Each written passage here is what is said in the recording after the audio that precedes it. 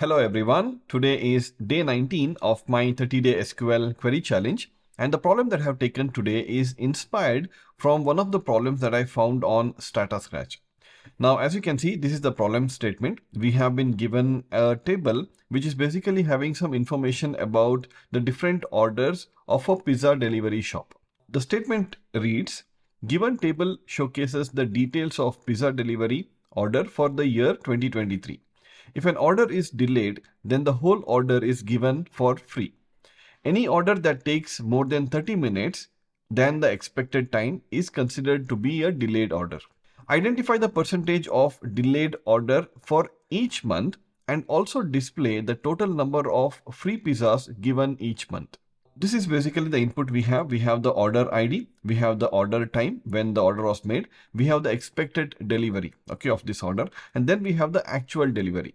And then in each order, how many pizzas were ordered and the price of that particular order. Now, in total, we have around 1000 records here. Okay, so there are information about 1000 different orders. Okay, now if I just go back to the top, okay, and then you can see there in the expected output, I have one record for each month okay? And all of this data is for the year 2023 so what this basically tells is in the month of Jan 2023 there were totally out of all the different orders that were present 7.7 percent of the orders were delayed okay? And in that delayed orders totally 23 free pizzas were given okay? And the same thing we need to find for every other month of this particular year okay of this whole data. So this is basically the problem statement. This is what we need to do. Now you will find the problem statement the data set and the solution everything in my blog. You can download it and try to solve it yourself. And i will be solving it using the postgresql database. Now you can see that i have already created the table. The name is pizza delivery. Now as always first let us think of a logic how we can solve it. Okay. Now I have the order, I have the time, and I have the expected delivery. All the different calculations that I need to do for my expected output is dependent on the delayed deliveries. So first of all, from this data set, I need to find which orders were delivered late, right? So out of these thousand orders, I need to find that. Now, how can I find that? I basically need to use this formula that is given. So they have told if any order takes more than 30 minutes to deliver, then that is considered as delayed order. So here in this column, I have the actual delivery. So if I could subtract the actual delivery with the order time, and if it is more than 30 minutes, then those are the delayed deliveries, right?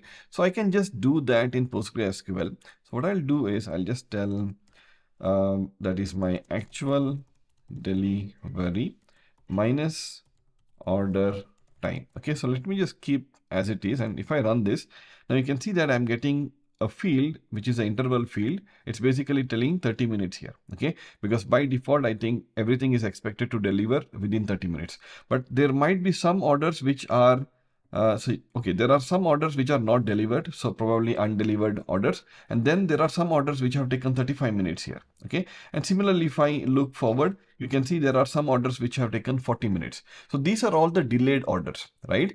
Now if i have to just fetch the minutes from this particular field i can just use the function tochar okay? I'm i'm using postgresql. If you're using some other database you might have to look for some other uh, inbuilt functions okay?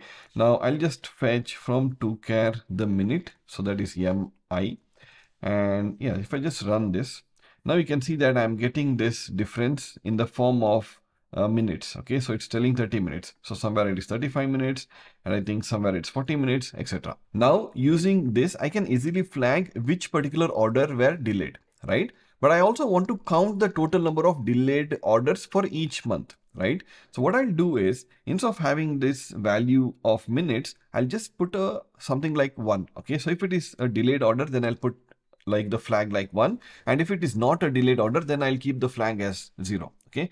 So i'll do that by using the case statement. So case when this whole thing if it is greater than 30 minutes okay? And i think this is a text and this is an integer. So generally i want to compare it, it with an integer. So i'll just tell cast of this whole thing as integer. I'll convert it into an integer and then i'll compare it with 30 if it is greater than 30 then i want to say 1 okay just a flag else i'll say 0 end and this is going to be let's say my delayed flag. If I run this, now you can see that wherever it is zero, I know those orders were delivered on time. Wherever it is one, these are the delayed orders. Now within the delayed order, I, okay, now I want to count how many delayed orders have happened each month, right? So that means here I have the order time. I need to now transform that into, let's say, a particular format, okay? And that format is month and year, right? So what I'll do is, I'll just fetch the field that I need. That is, I can just tell to care of order time and I want to fetch it in the format month and year, right? So I think that's all. And this whole thing, I'll just call it like period and I'll keep everything else as it is. Okay. In fact, I'm just fetching these two fields. Now you can see that I'm getting the format that I want. Okay. I'm just fetching the month and the year. Now, if I just group the data based on this month and year, I, because I know that in a year there are only 12 months, so I'll only get 12 records because all the data is for 2023. And then if I just do a sum of this uh, delayed flag, I'll be able to get the total number of delayed orders. Okay. But my intention is not to just get delayed, the total number of delayed orders, but I want to get the percentage of delayed orders. So that means in order to get the percentage, I need to first get the total number of delayed orders, divide it by the total number of orders in that month, right? And multiply by 100 to get the percentage. Okay, so that is what I need to do. And then how am I going to fetch the free pizzas? I'll see about that later. Okay, now, so this is basically now if I just do a sum here. Okay, so I'll do a sum of this whole case. And then if I just do a group by let's say this whole value that is this whole period okay if i just run this now you can see that i'm only getting 12 records and here i'm getting the total number of delayed orders for each month okay so i have got this but i want the percentage in order to get the percentage that means i also want to get the total number of orders to get the total number of orders i can just do a count of one and this will tell me the total orders for each month so for july 2023 there are totally 73 orders but eight of them were delayed right? So if I want to get the percentage, I can just take the whole sum of this and then I can just do a divide by this count of one, okay? And I'm just going to keep this query as short as possible, okay? So that I'm not going to create any subqueries or something. I'll show you how to do all of this just using one query. So I'll take the whole delayed orders, divide it by the total number of orders each month, okay? And then let's say if I just run this, okay, and I'll remove this and if I run this, I'll get zero. The reason is this is an integer and I think this is an integer. So I should either convert any one of them to a decimal point so that this division is going to give me the proper values. Okay.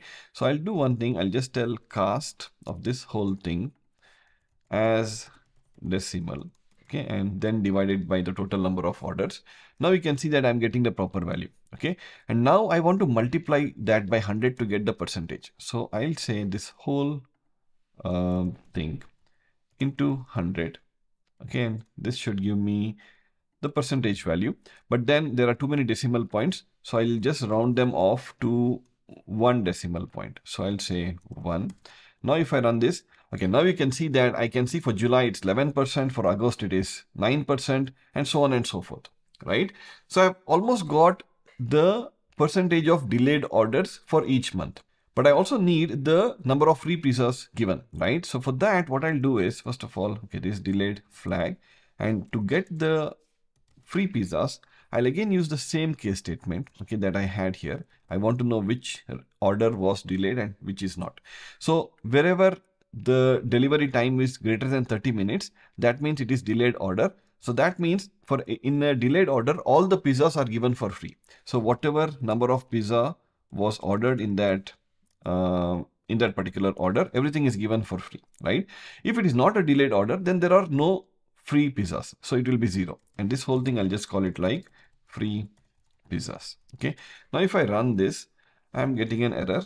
And I think it is because it's number of pizzas no so it is number of okay it's it's because it's it's basically because i have already done the group by this particular period but then i cannot use all of these fields outside in my select clause right now i can fix this just by putting a sum because for each order i will this basically, if I just had used this case, for each order, I would come to know which particular order was delayed and which was not delayed. Wherever it was delayed, I would take the total number of pizzas as the free pizza, right?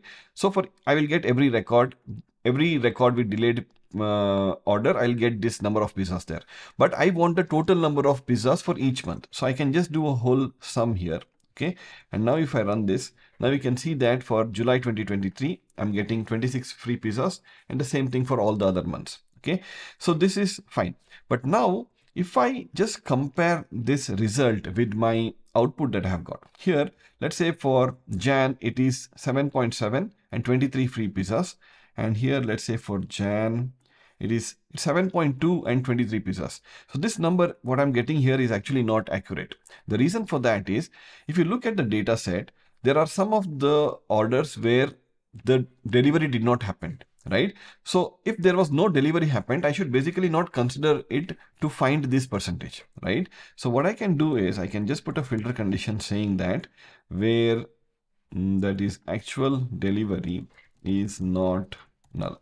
Now if i run this let's say for jan i'm getting 7.7 that is exactly what i wanted. Okay?